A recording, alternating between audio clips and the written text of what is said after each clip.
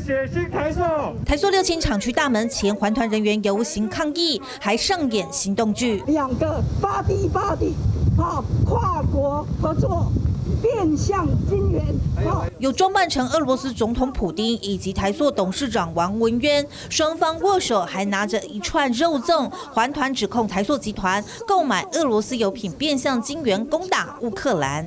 发言人还讲说啊，这个是有签约的，如果违约哈，要诶损失惨重。哇，这句话哦。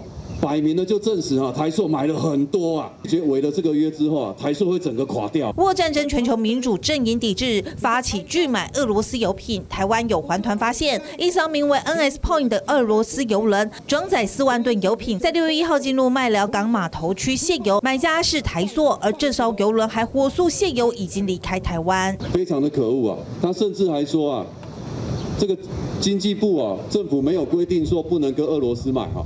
那如果经济部有规定，我们就不买了。